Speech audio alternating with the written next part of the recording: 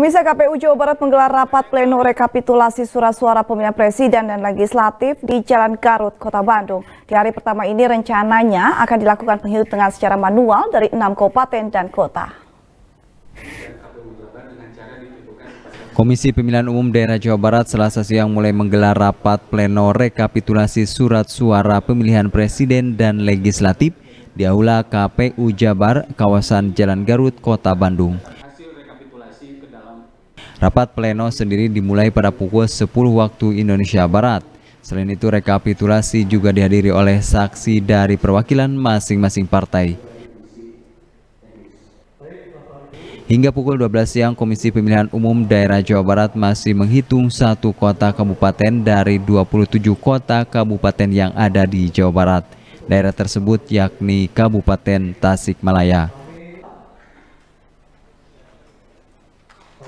Dari hasil penghitungan suara oleh KPU Jawa Barat bagi Kabupaten Tasikmalaya belum bisa ditetapkan lantaran mengalami masalah selisih antara angka daftar pemilih tetap tambahan atau DPTB.